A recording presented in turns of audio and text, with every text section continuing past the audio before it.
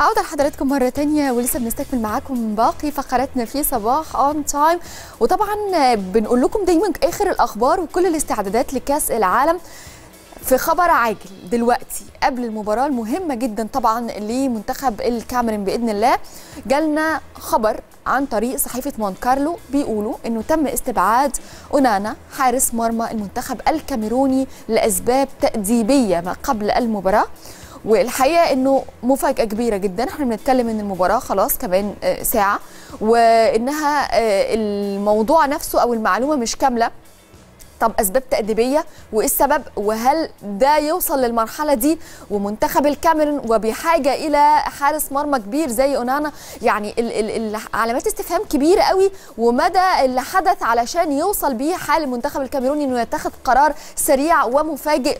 في توقيت زي ده. هنتابع طبعا مع حضراتكم خلال الساعات القادمة وبالتأكيد هيكون معانا معلومات دايما عبر شاشة قنوات اون تايم سبورتس علشان نطلعكم على آخر التفاصيل الخاصة بالمونديال. بيسعدنا ويشرفنا إن إحنا يكون معانا دايما التحليل الفني لأخبار المونديال وآخر الأمور الفنية. هيكون معانا دلوقتي المحلل الرياضي أسر حسين. بنرحب بيك يا أسر صباحك زي الفل. ودايما بنسعد بوجودك معانا ونتكلم معاك كده بقى عن آخر أخبار المونديال والإثارة والمتعة ومتابعة المباريات. صباح الفل عليك يا فرح. صباح الفل على جمهورك كله وعلى صباح كأس العالم. صباح كأس العالم بالظبط. طيب صباح كأس العالم ولكن صباح المفاجآت. يعني لسه بقول خبر دلوقتي عن أونانا من وجهة نظرك. شايف مدى قوة اللي ممكن يكون عمله أونانا علشان المنتخب الكاميروني في توقيت حاسم؟ وصعب في التوقيت ده إنه ياخد قرار تجاه الحارس بالشكل ده. شايف إيه؟ وهل فعلا في بعض الأمور في عالم كرة القدم ممكن توصل أي منتخب أو أي فريق إن هو يتخذ قرارات في توقيت ممكن يكون محتاج فيه قوي اللاعب كده؟ آه سؤال ذكي يا فرح لأنه فعلا أونانا يمكن هي هي هي أنا اتفاجئت وأنا جاي لك لما عرفت الخبر من راديو مونت كارلو برضو لأنه عكس المسيرة اللي ماشي بيها مؤخرا أو ال أو ال أو آخر form لأونانا أونانا بيقدم حاجات في مستوى يعني في مشواره الكروي مهمة جدا دلوقتي استحقاقات مع إنتر الحارس الأساسي هاندانوفيتش هو اللي بدأ ياخد مكانه في Champions League وبدأ يشارك بقى شبه الحارس الأساسي لإنتر ميلان فداخل الكاميرون منتخبه في كأس العالم بمعنويات عاليه انه حارس أساسي لفريق كبير زي صحيح. إنتر النهارده لما بيطلع قبل المباراه بدقايق والكاميرون في أمس الحاجة لمد... لحارس متمرس زي ده النهارده انت بتضطر فريقك انه يلعب بديفيد إيباسي حارس أبها السعودي. مش طبعا في نفس فورمة أونانا وانت محتاج كل أوراقك عشان خسرت المباراة الأولى. فبالتالي بعتقد كمان كان ليه واقع أعتقد قديمة أونانا في حاجة شبه برضه في نفس الاتجاه حاجة تأديبية. فبتمنى تكون مش حاجة كبيرة جدا إنه يعني الحقيقة لو كاميرون كملت في الحقيقة مش تقدر تكمل بدون ما يكون عندها حارس بقوة أونانا. صحيح. طيب هبتدي معاك مباريات النهارده. وقبل مباريات النهارده تيجي نتكلم على امبارح الأول. يلا بينا. ونشوف وجهة نظرك. هل كنت متوقع فوز المنتخب المغربي بالقوة دي والأداء الرائع أمام المنتخب البلجيكي ولا لا ما كنتش متوقع منتصر؟ في الحقيقة فرح يعني الصدفة الكويسة إن قبل مباراة بلجيكا في يوم كنت على الهوا و... وكنت بنتكلم على الفرص. وأنا كنت بشكل شوية ناس حست لا يعني ما يعني أنت بتتكلم بس من منبع عروبي جدا وعشان الملعب العربي والله ما كانش كده كان يعني افتراض فني جدا إنه كنت بقول لن نقبل بالتعادل. أقل حاجة المنتخب المغربي هيقدر يقدمها وهو قادر على ده هو الفوز على بلجيكا. هذه النسخة من بلجيكا وهذا الأداء فيه عناصر وأسامي كبيرة لكن جماعيته مش قد عناصر منتخب المغرب. وبالفعل وليد الركراكي ما كسفنيش. إدارة المباراة بامتياز بامتياز كبير جدا. اختيار للعناصر نفس العناصر كانت الجرأة في إنه ما حبش يعني تثبيت التشكيل كان أول حاجة كويسة فرح باستثناء بس إنه آه مهند المحمدي قبل بس ياسين بونو للأسف اتصاب في النشيد الوطني قبل المباراة على طول. كل العناصر هي هي لعبت قدام كرواتيا وقدمت مباراة كبيرة قدام وصيف كأس العالم النسخة الماضية. آه جرأة كبيرة جدا. آه عايز أقول لك على حاجة صعبه قوي يا فرح في الكورة إنه أبقى بلاعب منتخب بلجيكا مباراه صعود وأسجل هدف قبل في الدقيقة الأولى من الوقت بدأ ضعف الشوط الأولاني واحتفل وبعدين الهدف يتلغي واخش غرفة خلع ملابس من من معنويات ان 1-0 غير 0-0 أنا داخل متعادل. قدر يديهم الشحنة الممتازة. ما شفناش الفريق يتهز الشوط الثاني بالعكس نفس الرغبة. في إحراز الهدف كانت موجودة. بحييك جدا. هو امبارح طبعا هنتكلم على كذا ماتش مباراة الأوراق الرابحة أو مباراة التبديلات الممتازة أو ال perfect timing أو التوقيت الممتاز. لكن تفوق فيها جدا أولهم يعني في ال top يعني أو في الصدارة وليد الركراكي امبارح التغييرات والتوقيت آآ آآ نزول نزول الصبيري في الوقت ده بعد حوالي سبع أو ثمان دقائق من نزوله تقريبا يعني سجل هدف المغرب الهدف الأغلى وهدف الهدف الأول تأكيد يعني ال 1-0 بعدين نزول بوخلال في بعدها على طول سجل الهدف الثاني التوقيت ممتاز جدا الورقتين اللي اختارهم. وليد الركراكي في التوقيت الصح. مهم دايما في التغيير ممكن يكون عندي ميسي بره. التوقيت وال timing بتاع التغيير اللي يقدر يغير بيه الماتش. فبالتالي الاثنين كانوا game changer غيروا المباراة. بحيي وليد الركراكي عن إدارة المباراة بامتياز عن اختيار التغييرات الممتازة اللي أدت للفوز 2-0 صحيح. المغرب إن شاء الله في الدور الثاني. طيب لو رحت معاك لمواجهة منتخب بلجيكا مع المنتخب المصري أعتقد إنه بأي شكل من الأشكال ما كانتش في صالح المنتخب البلجيكي لأنه هي أظهرت المنتخب البلجيكي بشكل ما كانش أفضل حاجة وفي نفس التوقيت أثرت على معنوياتهم وأثرت على شكلهم شكلهم أمام أعين المونديال زي ما بنقول. وأنا فيما أعتقد إنه المنتخب المغربي أخذ دفعة معنوية شديدة جدا من مواجهة المنتخب البلجيكي رغم إنها كانت مواجهة ودية مع المنتخب المصري. تعليقك إيه؟ وشايف إن اللي بقوله ده من وجهة نظرك فعلا أثر بشكل كبير ولا لأ؟ نفصل تماما ما بين فكرة إنها مباراة ودية مع المنتخب المصري مباراة رسمية مع المنتخب المغربي ولكن ردود الأفعال اللي شفتها على مواقع التواصل الاجتماعي كانت بتقول لي لحد ما أو بتشير إلى كده لأ بتفق مع جزء كبير من كلامك يا فرح لأنه في شقين في الموضوع. إنه آه منتخب مباراة ودية وكل حاجة وكانت قبل على طول ال- بأيام من خوض منافسات المونديال. لكن المنتخبات الكبيرة بالذات لما يكونوا مصنف ثاني العالم زي بلجيكا آه، بيختاروا آه، نوعية الوديات دي عشان هتساعد مع المنافس المباشر اللي جاي في كأس العالم. فبالتالي لما اختار احتكاك من شمال أفريقيا واختار المنتخب اللي أخرج منتخب المغرب من كأس الأمم هو المنتخب المصري. بالتالي هو عارف إن ده الاحتكاك المهم قبل مباراته مع المغرب. آه. شوية تنظيم بس بسيط جدا. ما أعتقدش إن إحنا عملنا مباراة رائعة. عملنا مباراة جيدة من روي فيتوريا قدرت تكسب بلجيكا. بالتالي دي كانت الكبسولة أو آه، ال exposure أو آه، إظهار الم- المستوى الحقيقي أو ممكن عيوب المنتخب البلجيكي أو مفاتيح اللي أقدر أقفل عليها. كانت آه، بروفا كويسة جدا. ليه؟ وليد الركراكي والمنتخب المغرب إنه يشوف المنتخب البلجيكي قدام منتخب صحيح. شبيه للعبه زي المنتخب المصري من نفس مدرسة شمال أفريقيا. فبالتالي ساهمت جدا بعتقد ده. وبالتالي هو حتى في المحكين المنتخب البلجيكي ما قدرش يلاعب المدرسة دي. خسر المنتخب المصري وديا. لما قابل منتخب المغرب ما قدرش يجاري يجاري كورة. شمال أفريقيا وبالتالي تفوق المنتخب المغربي طبعا بقيادة وليد الركراكي بالظبط أبتدي معاك بأول مباريات الأمس. طبعا المباراة اللي كانت قبل مباراة المنتخب المغربي آه، مع منتخب بلجيكا هي مباراة كوستاريكا مع منتخب اليابان. شفت المباراة دي إزاي؟ خصوصا بعد خسارة كوستاريكا من إسبانيا بنتيجة سبع أهداف. في نفس التوقيت فوز اليابان على المنتخب الألماني وكانت مفاجأة كبيرة جدا. هل كنت تتوقع بقى فوز كوستاريكا على اليابان ولا كنت شايف إنه المنتخب الياباني كان يستحق إنه يعمل شيء أفضل من كده وإنه اتخطف في الهدف ده؟ طبعا كنتش أتوقع ابدا ابدا ابدا. هي مباراة إحنا لسه كنا بنتكلم أنا وانت قبل الهوا يعني مونديال المفاجآت ودي حاجة كويسة طبعا بت بت بتضيف متعة لل- للمشاهدين وبتعمل كمان بتخلي في إثارة دايما مش أنت متأكد إن الفرقة دي صاعدة يعني. أنا اتخضيت كمان لأنه أو اتصدمت من النتيجة لأنه الحقيقة مورياسو عمل آه، مدير الفني ال- ال- اليابان عمل مباراة ممتازة في الشوط الثاني أمام ألمانيا. آه، رجع من من من 4 ل 3 4 3 وغامر وضغط على ألمانيا وقدر يحقق فوز مفاجئ جدا على ألمانيا. فده مش معناه إنه لعب بم- بمستوى أقل أمام كوستاريكا لكن في في وقت المباراه حسينا المنتخب آه، المنتخب الياباني ضامن المكسب. آه. حتى كرة الهدف آه، التشتيت كان بسذاجة أو باستهتار شوية من دفاع من دفاع اليابان. وبالتالي اللي جاب الهدف أصلا هو الباك اليمين وحطها بشماله. كانت ضعيفة جدا. ضعيفة جدا. قدام كمان أفضل حارس لحد دلوقتي في البطولة بثمان تصديات يا فرح. صحيح. يعني يعني جوندو إحنا بنقول جوندو حارس اليابان. هو أفضل حارس دلوقتي في التصديات اللي شالها. آه فكانت كورة باك اليمين بيحطها بشماله وب placing. قصة كانت غريبة شوية. آه. اليابان ما قدرتش ترجع في النتيجه أو تكمل ال- الهدف. طبعا فوز تاريخي لكوستاريكا اللي احيت أملها. وزي ما اتكلمت معاك قبل كده فرح انه اكبر استحقاق للمنتخب الكاريبي الصغير ده في 2014 لما صعد في مجموعه اللي كان بيتقال عليها مجموعة الموت على حساب إن- إنجلترا وإيطاليا آه. آه فبالتالي إنه آه النهارده ممكن يكرروا. بالنسبة لهم ده إعجاز طبعا إنه. يطلع يصعدوا مرتين لدور ال 16 فكوستاريكا أحيت أملها إنها تكرر إنجاز 2014 طبعا على استحياء. مش تقدر تروح بعيد زي ده. المره اللي قبلها وصلت ربع نهائي لكن فوز مفاجئ جدا بكل المقاييس طب وشفت المواجهة أو آه، التغير أو التحول اللي حصل في أداء كوستاريكا من مباراة أمام منتخب الإسباني مباراة الأمس؟ إيه ولا لأ هو نفس الوضع ونفس الشكل؟ لا طبعا. المدرب الكولومبي آه، آه، كان أجرأ في مباراة في مباراة يابان. طبعا مباراة أسبانيا هو فقد الأمل من أول ربع ساعة صحيح. تقريبا آه وعارف حجم الحجم الحجم الفوارق مدى- مدى الفنية. الفوارق، آه. آه يعني هو عارف إن الماتش رايح ب score فطبعا هو بيستقبل بس مش قادر يعني يعمل أي رد فعل. ماتش اليابان حس إنه قريب. اللي عجبني إن الشوط الثاني عمل تغييرات كثيره جدا بحدود طبعا إمكانيات كوستاريكا. ال- ال- الحاجة برضو الشاهد إنه كيلور نافاس إمبارح دي قيمة إن أنت تكون عندك حتى لو لاعب واحد حتى لو أنت منتخب اسما ضعيف أو ما عندكش حجم النجوم اللي تديك الثقل ده أو إنها تخلي فريقك محترفين يخلوا فريقك ليهم فرصة. كيلور نافاس حارس مرمى واحد هو أشهر لاعب طبعا هو الحارس الثاني في باريس سان جيرمان بعد دوناروما. طبعا متمرس واخد مع دوري أبطال مع ريال وغيره. قدر إنه يعمل حاجة أو يقود فريقه إن هم يخرجوا بشباك نظيفة. آه فبالتالي كيلور نافاس دوره كان مهم جدا. مدرب الشوط الثاني طمع في الماتش. في ماتش اليابان قدر يعمل تغييرات كتيرة جدا جدا في وسط الملعب. ومنها من الضغط العالي اللي حصل جه التشتيت السيء من دفاع اليابان وحط الباك اليمين في صعوده ضاغط من فوق جدا على آه دفاع اليابان قدر يحط الهدف.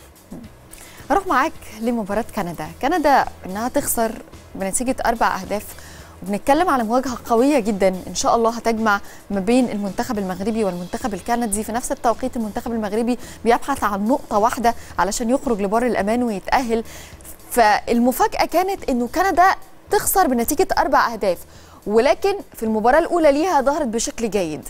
شايف التحول اللي حصل في أداء المنتخب الكندي وهل ممكن يظهر بنفس الشكل أمام المنتخب المغربي ولا أنا كنت في بداية الكلام بقول باللغة ال- الدارجة كده بنقول رمى الفوطة خلاص وخلاص ما فيش شيء يبكي عليه فهينزل بكامل ضغطه وبكامل تركيزه علشان على الأقل يخرج بشكل مشرف من المونديال بعتقد فرح دي يعني اخر آخر حتة في سؤالك هي تبقى المشكلة آه. إنه آه فريق اتأهل في حياته مرتين بس عايز يرجع لوطنه قدام جمهوره إنه قدم حاجة.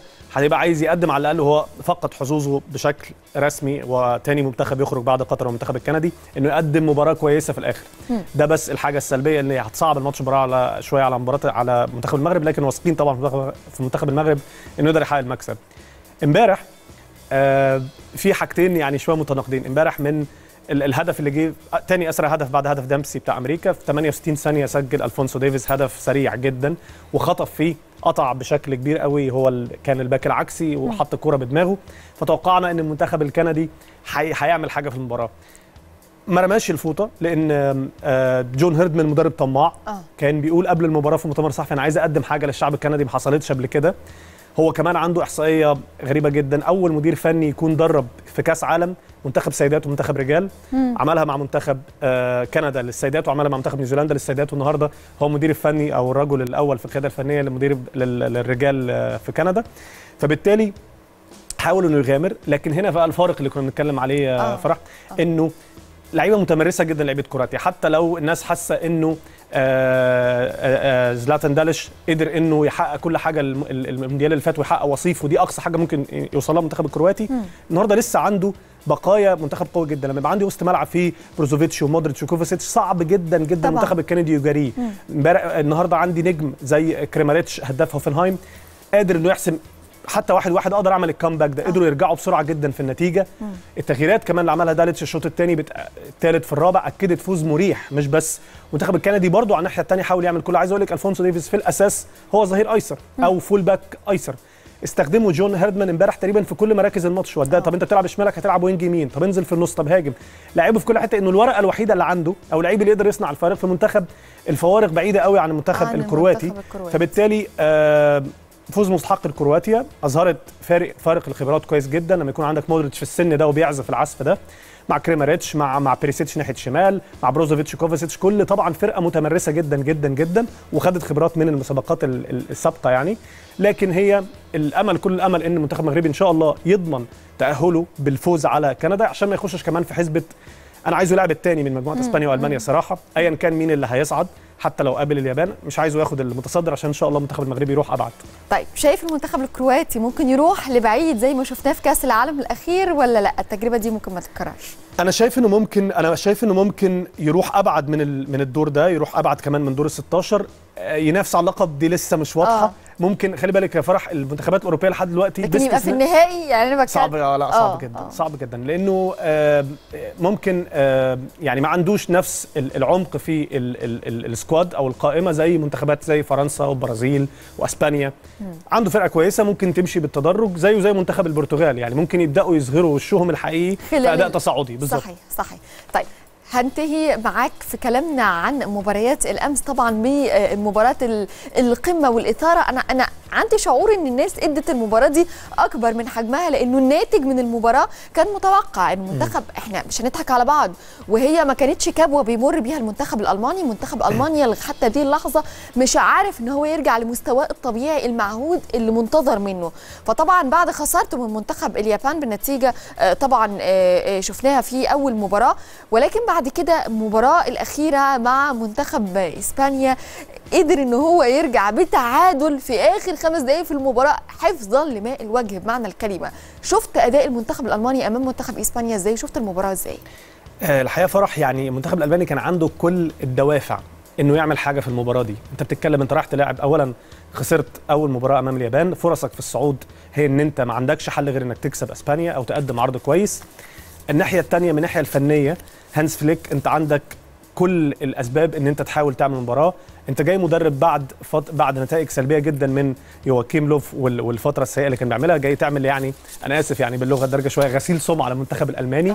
آه. كمان أمام منتخب انت واخد منه سداسية نظيفة. آه ال ال ال الآخر مواجهة بين الفريقين 6-0 فبالتالي انت عايز تكسب إسبانيا عندك كل الدوافع إنك تعمل ده.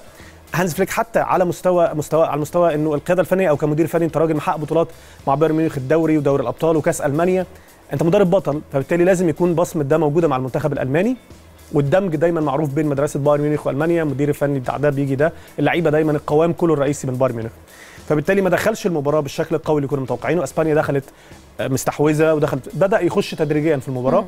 زي ما كنت بقول لك إن امبارح مباراة التبديلات أو الأوراق الرابحة أو ال ال ال super sub زي ما بيقولوا أو البديل السوبر اللي بيغير الماتش بدأت طبعا بوليد الركراكي عشان نديله حقه. لكن ده اللي حصل كمان في مباراة الأمس. لويس إنريكي لما نزل موراتا حس إن فكرة المهاجم الوهمي مش قادرة إنها تحقق المكسب. فاول لمسة كانت محتاجة تحرك فيرود لأنه سرق عين سولي وجاب الهدف الأولاني موراتا بتحرك مهاجم تسعة جوه الصندوق. آه. بيرد عليه هانز فليك بتغييرة فولكروج اللي نزل غير الماتش والصدفة البحتة إن اللعيب ده عمره ما انضم للمنتخب الألماني لكن إصابة تيمو فيرنر قبل اللقاء هي اللي خلته sorry قبل المونديال هي اللي خلته يشارك. فبالتالي برضه كان بديل السوبر لأنه نزل فولكروج حقق التعادل لألمانيا وأحيا أملها شوية في انها ما تخرجش مباشرة من البطولة. طيب لو اتكلمت معاك عن فكرة يواكيم لوف ووجوده مع المنتخب الألماني ورحيله بعد سنوات طويلة جدا يمكن الانتكاسة اللي حصلت المنتخب الألماني في التوقيت ده هل من وجهة نظرك كان شايف إنه كان لازم يكون في إحياء للمنظومة وتغيير وضخ دماء جديدة في المنتخب الألماني في التوقيت ده أو قبل القيادة الفنية الجديدة للمنتخب الألماني ولا لأ شايف إنه ده حصل ولكن ألمانيا هي اللي مش موفقة في كأس العالم ده؟ سؤال حلو جدا فرح لأنه إحنا تعودنا المنتخب الألماني أو المشروع الألماني دايما بيبدأ من إعداد فريق شاب بعدين بنشوف نتائج ده على طويل الأمد إنه ده المنتخب اللي بعد كده بياخد كأس عالم. صحيح. حصل ده وكان في إعداد كويس قوي للمنتخب اللي اخذ كأس العالم 2014 أمام الأرجنتين وكانت فترة يواكيم لوف الطويله من بعدها ما كانش في مشروع أو برنامج واضح أو مبهم جدا كمل على نفس اللي موجود. خالص على مم. نفس النهج. مم. وفضلوا استمرار ليواكيم لوف الرجل الأول بس عشان هو حقق استحقاق كأس العالم من دون مشروع واضح أو لعيبة صغيرة طالعة النهارده أو يعني منذ تعيين هانز فليك حاولوا إن هم يقولوا له أنت اللي هتبقى بتقود المشروع الشاب آه. هتلاقي عناصر صغيرة كتيرة في, في, في, في, في موجودة في المنتخب الألماني باستثناء موزيالا ما فيش حد منور قوي مم. لأنه كمان هو بيفكر في إنه اليورو اللي جاي هيبقى على أرض ألمانيا وهيبقى هو البلد المضيفه بطبيعة الحال. لما تكون ألمانيا هي البلد المضيف ودايما هي لازم مترشحة لازم على الأقل تاخد طبعًا البطولة. طبعا. فبالتالي هم بيحاولوا دلوقتي في المشروع ده. ملامح مش واضحه زي المشروع الأنجح اللي حصل في 2014 والجيل القوي جدا اللي أنتج عن الفوز بكأس العالم. مش قادرين نشوف ده بشكل قوي جدا أو أو صورة ألمانيا اللي بتخش على أي فرقة بالقوة اللي إحنا متعودين عليها. لكن بيشتغلوا على آه نزول بالمعدل نزول بالمعدل السني على الأقل هيفيد ألمانيا في اليورو اللي جاي. بإذن الله. عودة لحضراتكم مرة تانية ولسه بنستكمل معاكم باقي فقراتنا ومنورنا. المحلل الرياضي آسر حسين اللي بيستكمل حديثنا معاه في صباح ON Time على آخر أخبار المونديال ومباريات اليوم. عودة ليك يا آسر مرة تانية. أروح معاك بعد ما استعرضنا طبعا نتائج مباريات الأمس وآرائك الفنية. أعرف منك بقى شايف كده بداية المواجهات النهاردة مواجهة المنتخب الكاميروني مع المنتخب الصربي هيكون عاملة إزاي؟ وطبعا كنا لسه في بداية كلامنا بنتكلم عن الجزئية الخاصة بتاع بتاعه غياب أونانا. حارس مرمى طبعا مهم جدا وجوده مع المنتخب الكاميروني ولكن نظرا لبعض القرارات التأديبية اللي من قبل المنتخب الكاميروني اتخذها تجاه حارس المرمى. لسه مش عارفين تفاصيل قوي ولكن شايف المواجهة دي هتكون عاملة إزاي؟ آه مهم جدا يا فرح إن المنتخب الكاميروني النهارده يعتبر دي انطلاقته في كأس العالم ويتناسى تماما مباراة سويسرا. آه اللي اتخطف فيها بهدف امبولو اللي من أصول كاميرونية بالمناسبة. آه فبالتالي الكاميرون أخذت رهان. إنه سامويل إيتو يعني بالتحديد كرئيس الاتحاد الكاميروني النجم الكبير إنه الاستغناء بعد كأس الأمم عن خدمات توني كونسيساو وإنه المدرب الوطني هو اللي هيقود المشروع وهينجح. آه روجر سونج هو اللي ماسك الفريق. الحقيقة بعد آه يعني قيادته للفريق نتائج حتى في الوديات ما كانتش مبشرة قوي بالتفاؤل. آه حتى في مباراة سويسرا بعتقد إنه أدار المباراة بشكل ضعيف شوية. هم خدوا الرهان ده. بالتالي روجر سونج النهارده مطالب أصلا كلاعب دولي قبل كده وحقق يعني بطولات كتير مع منتخب بلاده. النهارده يكون بيقود بلاده لفوز لازم عشان الكاميرون تحيي أملها في المجموعة. نفس التشكيل تقريبا اللي بدأ بيه المباراة اللي فاتت باستثناء بس انه هيطلع طلع من تشكيلة وسط الملعب صامويل اومجوي ونزل بيير كوندي لاعب أولمبياكوس. فبعتقد نفس التشكيل باستثناء طبعا اتكلمنا عليها فرح إنه أونانا مش هيلعب. فبالتالي النهارده بيلعب منتخب قوي جدا صربيا. مباراة عايزة التحامات بدنية كتيرة جدا. شفنا قد إيه في مباراة البرازيل صربيا كانت بتلعب مباراة بدنية قوية. ومعظم الوقت بتميل إلى العنف أو بتميل إلى التك يعني الاحتكاكات القوية جدا على إثرها طبعا إصابة في ال ankle نيمار هتبعده الماتشين الجايين. فبالتالي الكاميرون دي الماتشات المفروض يحبها المنتخب الكاميروني اللي فيها لعب بدني كبير جدا. وأتمنى المنتخب الكاميروني طبعا يقدر يخطف النهارده. منتخب صعب جدا صربيا النهارده كمان بيعود لصربيا كوستيتش نجم اليوفي ناحية الشمال اللي عرضياته بعتقد إنها قادرة يعني تجرح أو أو تعمل أو تعمل خلل في أي دفاعات أي فريق. مع يوفي متألق وخمس اسيستات حاسمة جدا مع يوفي فبالتالي عودة كوستيتش النهارده شايف إن هم افتقدوه جدا في مباراة البرازيل كان هيفرق. فالمنتخب الكاميروني يخلي باله من الناحية اليسرى بالتحديد. لو رحت معاك لمباراة البرازيل وسويسرا في كلامي معاك بتتكلم على البرازيل إن لسه الناس ما استمتعتش بيها قوي وإنه لسه مش قادرين نحكم على أداء المنتخب البرازيلي. فأعتقد إن هو من المنتخبات اللي لسه جاية. وأكدت لي إن مباراة النهارده مع منتخب البرازيل وسويسرا. طبعا منتخب سويسرا منتخب قوي جدا مش هتكون مباراة سهلة ولا هينة ابدا. أكيد. ولكن أكدت لي إن إحنا ممكن نشوف الأداء البرازيلي بيظهر في مباراة اليوم.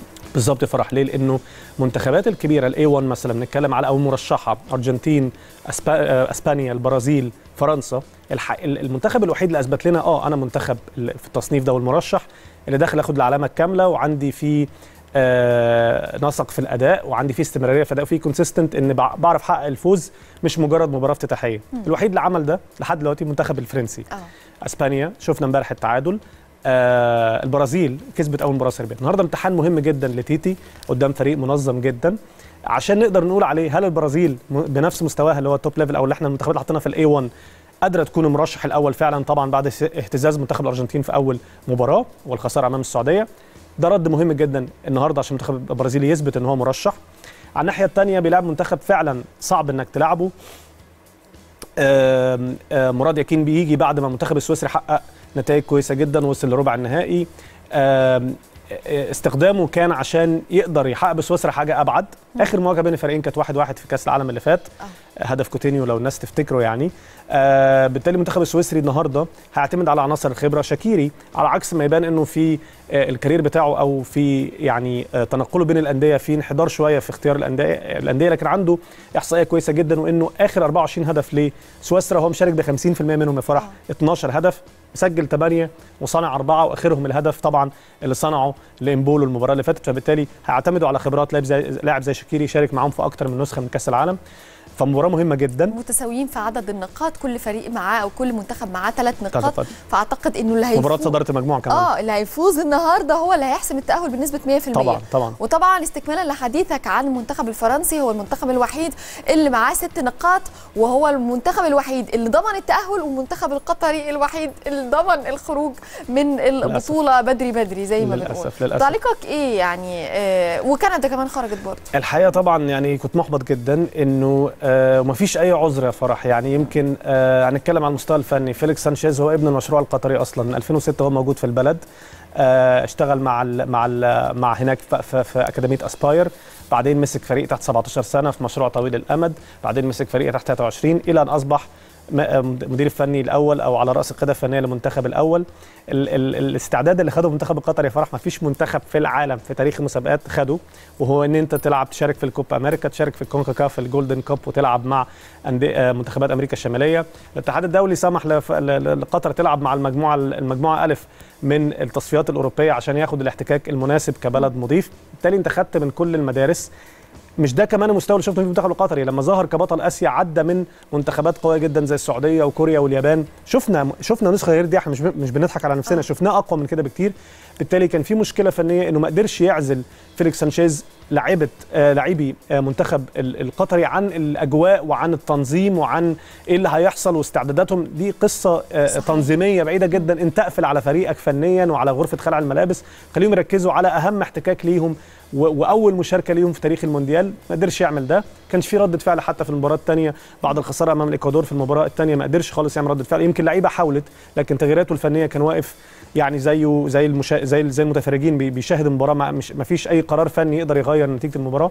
فأحبطت جدا. على الناحية الثانية فرنسا طبعا بتعمل تصريح وستيتمنت مهم قوي إنها جاية. آه بتقول كمان أنا ممكن أعمل حاجة ما حصلتش قبل كده ان أحقق كاسين عالم على التوالي. آه فريق مقنع جدا. فريق هم فريقين. تسع فرق في رفاهية اختيار فظيعه طبعا ما شاء الله بالظبط. يحسب لديشام طبعا يا فرح طبعًا كمان استخدامه لجريزمان في وسط الملعب عارف إنك بتحب جريزمان بالأخص؟ آه جدا. آه استخدامه في وسط الملعب. اللي بتقول لي كمان إنه فكرة إنه يعتمد عليه في أكتر من مركز دي فرقت كتير مع اللاعب ومع المنتخب أيضا. مفيش كلام يا فرح طبعا لأنه أنا هو مش عايز يخسر إنه يكون عنده جناحين مهمين جدا. يبقى إمبابي اللي طبعا بيعمل الفارق الرهيب مع آه فرنسا والناحيه الثانية ديمبلي هو مش عايز يخسر إنه جريزمان يحطه في حتة من دول فهو حطه مع منظومة وسط الملعب يبقى لاعب كصانع لعب أو لاعب رقم 10 وبالتالي بيأدي الدور ده بشكل ممتاز بيصنع الأهداف آه تألق هو أكتر لاعب صنع فرص في آه كأس العالم بست فرص لحد دلوقتي أو فرص للتسجيل.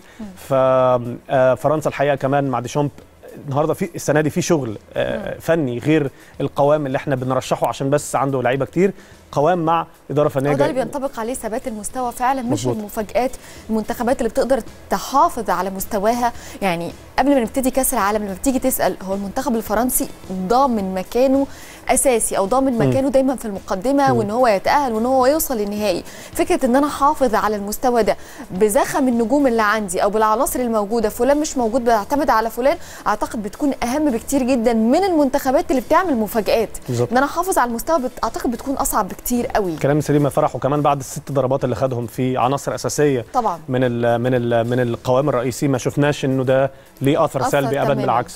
طبعا. هروح معاك للمواجهة اللي قبل الأخيرة مواجهة قوية برضو مش عارفة مش قادرة أحط إيدي على المواجهة دي مش عارفة أحدد لها ملامح. مواجهة منتخب كوريا الجنوبية مع غانا. من وجهة نظرك ممكن تكون عاملة إزاي الحقيقة إحنا يعني عشان طبعا شرياننا الأفريقي بنتحمس لأي فريق أفريقي لكن ما كناش يعني حاسين أو حاطين غانا فرح من المنتخبات الأفريقية اللي ممكن تعمل حاجة المرة دي لأنه مش النسخة الأقوى من اللعيبة اللي دايما كن دايما المعيار في غانا تلاقي المنتخب الغاني بياخد كأس العالم للشباب تعرف إن ده المنتخب اللي هيأدي في كأس العالم أوه. في ندرة شوية في الجيل الجيل اللي كان عمل إنجازات 2010 كبر آه لسه عندنا الأخوين آيو في لعيبة مبشره أيام اساموا جيان بقى وال آه ضربه الجزاء اللي قتلتنا كلنا دي. كلنا. آه قتلتنا. آه فبالتالي طبعا عنده بارتي في نص الملعب نجم أرسنال. في لعيبة كويسة آه في غانا. قدمت مباراة رغم ما بقول لك إن إحنا ما كناش حاطين مرشحين مباراة جيدة جدا أمام البرتغال. يمكن بس آه بعد التعادل مع البرتغال واحد واحد فتح الملعب شوية. غانا قدر المنتخب البرتغالي بكورتين يخطفوا 3 1 رجع في المباراة. خطأ ديجو كوستا في الآخر كان ممكن حتى رونالدو حبس أنفاسه يعني كان ممكن جدا يتعادلوا. فأداء مبشر جدا بالنسبة إن أنت ما كنتش محطوط في في التصنيف إن أنت ممكن تأهل. النهارده امتحان مهم جدا أمام كوريا. مباراة أنتوا برضو اللي هيكسب هيأكد حظوظه في آه بالظبط هيأكد حظوظه في التاهل كوريا عملت مباراة كويسة جدا أمام هجوم الأرجنتين. كيم من جاي نجم نابولي المدافع. وقف قدام كل محاولات هجوم قوي جدا جدا نونيز وسواريز وكافاني وفالفيردي كمان. فبالتالي النهارده منتخب الكوري والغاني بعتقد فرصه متساوية في إنه ماتش ملعب. الاثنين عايزين يوصلوا. تتكلم على اوروجواي على اوروجواي طبعا. قلت, قلت الأرجنتين. آه sorry اوروجواي نونيز وفالفيردي داخلين عليهم دلوقتي. داخلين عليهم. ده بالنسبة لي أنا عارف الناس عينها فرح هتروح على مباراة برازيل وسويسرا عشان تشوف البرازيل والإمتاع. في الكثافة الهجومية والمهارات الموجوده لكن المباراة بالنسبة لي هتكون الأمتع طبعا النهارده البرتغال واوروجواي المباراة دي أعتقد هيكون فيها متعة وإثارة. فعلا لو اتكلمنا على الفرق ما بين مباراة إسبانيا وألمانيا ومدى شغف وحب الجمهور وانتظارها بالأمس أعتقد اللي ممكن تكون أعلى منها بكتير هي مباراة اوروجواي والبرتغال. آه كريستيانو عنده كمية صراع نفسي أعتقد. آه وكمية كمان إن أنا أكون في حالة من عايز يثبت شيء وعايز يثبت شيء لنفسه وللجماهير في كل مكان خصوصا بعد الضغط الشديد اللي وقع عليه بعد التصريحات وبعد رحيله عن فريق مانشستر يونايتد قبل انطلاق كأس العالم. عدم تحديد واجهته حتى هذه اللحظة برضو عامل أكيد حالة من من المخاوف والقلق. عايز يثبت للجميع إنه كان مظلوم مش ظالم وان هو فعلا لاعب اتظلم ويستحق إنه يكون في مكانه أفضل. رونالدو هنتكلم على النسخة الحالية هو بنتكلم على لاعب أول أو اللاعب الوحيد اللي, قدر إن هو يحرز خمس أهداف طبعا في كأس عالم متتالية أو في خمس يسجل في نسخ. خمس نسخ مم. متتالية تعليقك إيه وشايف النهارده رونالدو ممكن يعمل إيه في الحدوتة دي على الصعيد الآخر بقى عندك سواريز وعندك كافاني وعندك نجوم أوروجواي طبعا ولو رجعنا بالتاريخ هنفتكر مصر لما لعبت أوروجواي و... بس قدمنا أداء رائع قدام. وأداء دي كانت مشرف شهادة ميلاد حارس كبير اسمه. محمد الشناوي طبعا آم آم انت حطيت ايديك يا فرح على اهم جزء أو ال highlight أو ال- القصة اللي هتتكلم عنها كل الناس وهو نجم النجم النجم في الفريقين هو رونالدو طبعا هتكون كل الأعين ناحيته. الاثنين اللي فات 21 نوفمبر بيعلن إنه فسخ العقد بالتراضي بين مانشستر يونايتد وكريستيانو رونالدو وبيان رسمي من الطرفين بيتمنوا التوفيق لبعض وكلام من ده. لا أنا آسف الاثنين بيعلن إنه كريستيانو رونالدو على الصحف البريطانية آه وكمان كل الصحف العالميه إنه بقى الأكثر الشخص الأكثر متابعة في العالم ب 500 مليون متابع على. إنستجرام نص مليون بني آدم بيتابعوا كريستيانو رونالدو الثلاث 22 نوفمبر بيعلن فسخ العقد بالتراضي بين مانشستر يونايتد وبين آه رونالدو قبل 48 سنة ساعة فرح من أول مباراة افتتاحية في المونديال وزي ما أنت قلتي عنده في دماغه إنه عايز يقود. منتخبه ده مؤكد. ومحروم من مهما المشاركة كانت والكلام ده كله. نجوميته مهما كانت نجوميته شيء صعب و- جدا. وعشاقه وهو عارف إن الناس بتعشقه ومنتظرينه أكيد عنده صراع نفسي شديد عشان يثبت حاجة لنفسه وللجماهير مظبوط بعد 48 ساعة فتقول أنت راجل فسخ عقده قبلها ب 48 ساعة مباراة غانا الافتتاحية تبدأ المباراة بيفتتح شريط الأهداف تسجيل كريستيانو رونالدو بيحقق في أول مباراة بس بيشاركها في كأس العالم مجرد إنه شارك وسجل رقمين قياسيين. أنت رقم قلتي واحد منهم هو. التسجيل في خمس نسخ وطبعا الرقم الثاني هو تحقيقه رجل المباراة سبع مرات في المونديال كأكتر حد حقق لقب رجل المباراة. فبالتالي دي بس نبذة صغيرة عن كريستيانو رونالدو العقلية. فبالتالي بعتقد إنه حرم من حاجتين يا فرح في مانشستر يونايتد النهارده بيتوفروا ليه هتساعد كتير جدا في إنه ياخد البطولة دي كتحدي ليه في نهاية مشواره إنه القيادة الفنية الشاره هو اللي بشايلها وإنه يلعب أساسي ويكون مهاجم الفريق كان طبعاً. محروم من الاثنين في يونايتد منتخبه كبطل لشعبه ولبلده بتوفر له ده كقائد لمنتخب البرتغال بالتالي أعتقد إنه المردود هيكون هياخد البطولة دي بتحدي كبير جدا. هنشوف المباراة هتمشي إزاي وهنتمتع النهارده طبعا يا ياسر مع كل الناس اللي منتظرة ودايما بتشوف الجماهير اللي بتشجع كل جمهور بيشجع منتخبه والكل بالتأكيد بيتمنى التوفيق آه، للمنتخبات العربية والإفريقية. شكرا جزيلا نورتنا ودايما بنسعد بوجودك معانا في فرح أنا. بنبسط جدا وأنا معاكي